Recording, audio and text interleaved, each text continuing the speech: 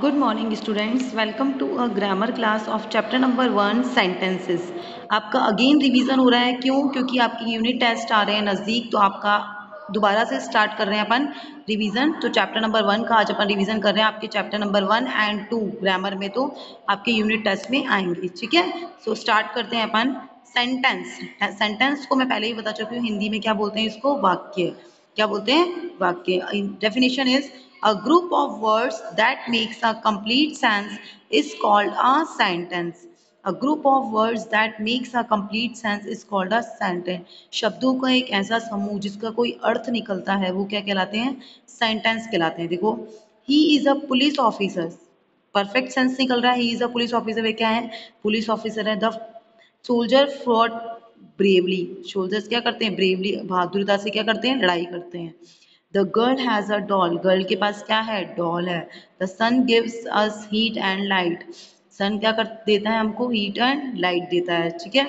All the above groups of words are sentence as they make a sense अभी मैंने आपको बताया क्योंकि इन सेंटेंस का एक प्रॉपर सेंस निकल रहा है तो it's called a sentence okay part of a sentence a sentence has two parts a sentence has two parts first is subject and second is predicate First is subject and second predicate. What is a subject? The door of the action is called subject. Subject क्या होता है देखो, a boy came here.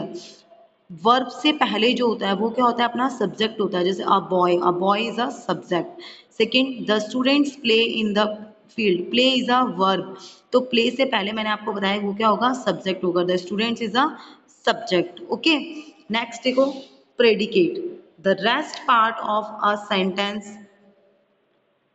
except subject is called predicate. Predicate क्या होता है? Verb subject के बाद जो होता है, वो सारा क्या होता है? प्रेडिकेट होता है। जैसे a boy came here a boy came here came here क्या हो गया? प्रेडिकेट हो गया। जो सब्जेक्ट है, उसके बाद वाला चीज़ क्या कहलाएगी? प्रेडिकेट कहलाएगी. The students play in the field play in the field in the field is a predicate ठीक है? नेक्स्ट देखो.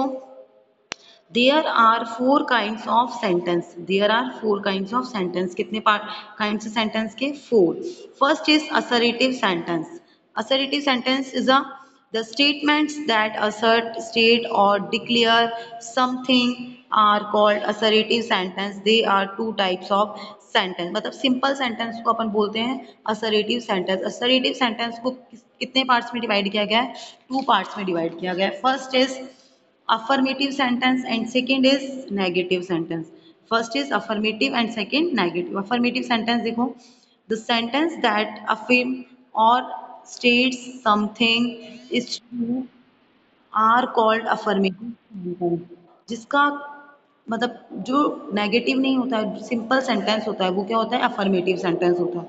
ठीक है, देखो example she is a pretty girl simple sentence है। ठीक है तो ये क्या हो गया? अफर्मेटिव सेंटेंस हो गया। You are an intelligent boy affirmative sentence he writes a letter affirmative sentence last में फुल स्टॉप लगेगा।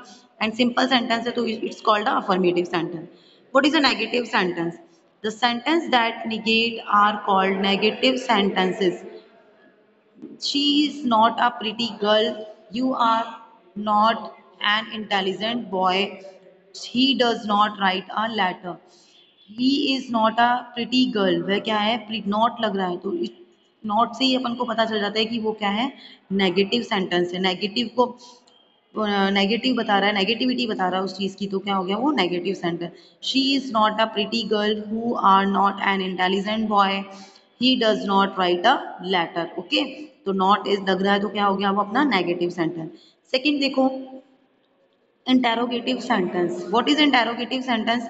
The sentence that asks the questions are called interrogative sentence अपन से कोई क्वेश्चन पूछता है तो अपन लास्ट में क्या लगाते हैं? क्वेश्चन मार्क लगाते हैं तो it's called a interrogative sentence are they coming today what are you doing how is she last में अपन ने क्या लगाया है? क्वेश्चन मार्क लगाया तो क्वेश्चन मार्क से ही अपन पता लगा लेंगे कि वो कौन सा सेंटेंस है? इंटेरोगेटिव सेंटेंस ठीक है? कोई क्वेश्चन पूछता है अपन से तो it's called interrogative imperative sentence the sentence that show order advice suggestion etcetera are called imperative sentence imperative sentence. What is imperative sentence? The sentence that show order, advice, suggestion etcetera are called imperative sentence अपन को कोई order देता है advice देता है suggestion देता है it's called a imperative sentence obey your elders मतलब हमें बड़ों की आज्ञा का पालन करना चाहिए. प्लीज़ कम हियर इधर आओ। डोंट गो देयर, उधर मत जाओ। तो अपन को कोई सजेशन एडवाइस ऑर्डर देना, वो कौन सा सेंटेंस हो जाएगा? Imperative sentence that is called a imperative what is exclamatory sentence fourth is fourth kind is exclamatory sentence the sentence that show sudden feeling and strong emotions are called extra exclamatory sentence sudden feeling होना, जैसे अपन किसी चीज़ को देखते हैं तो she is a beautiful girl wonderful car ठीक है? तो अचानक फीलिंग निकलती है कोई आ, कोई सैड मोमेंट होता है तो अचानक फील करने लग जाते हैं अपन। तो अचानक फील करना उसको क्या बोलते हैं अपन? एक्सक्लामेंट्री देखो how beautiful the rain is कितनी सुंदर रेन है। तो एक्सक्लामेशन का ये मार्क होता है ये क्या होता है? एक्सक्लामेंट्री एक्सक्लामेशन मार्क होता है ये। तो that is called exclamatory sentence what a lovely weather it is last में क्या है? एक्सक्लामेशन मार्क है। तो that is called exclamatory sentence आपको समझ आ गया होगा, ठीक है ना? तो आपको अपनी रिवाइज करना है। मैं जो एक्सरसाइज दूँगी अभी एमसीक्यूज क्वेश्चंस वो आपको अपनी नोटबुक में राइट डाउन करने ओके थैंक यू